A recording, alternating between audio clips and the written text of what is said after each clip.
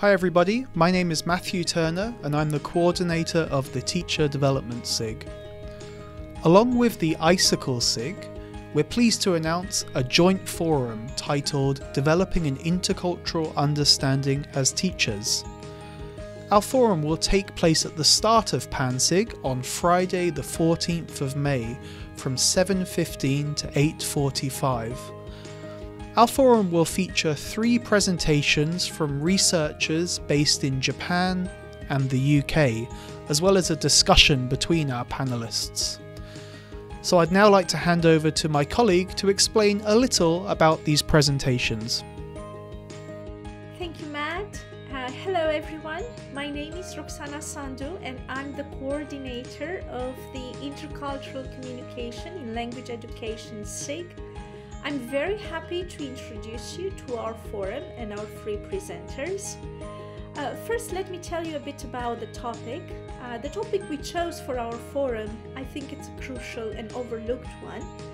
And although uh, we are all very much aware of the fact that when teaching a foreign language, we are not merely sharing linguistic knowledge and skills, we are also negotiating and learning from our students' dynamic experiences and identities. And as language educators, our roles have become even more paramount in promoting intercultural mindsets. So, with intercultural competence being included in various language learning frameworks, it is needless to say that both teachers and students should strive to acquire it. Our first presenter, Yoko Munezane, will introduce a new empirical model of intercultural communicative competence by exploring the structural relationships among eight individual differences factors that affect ICC.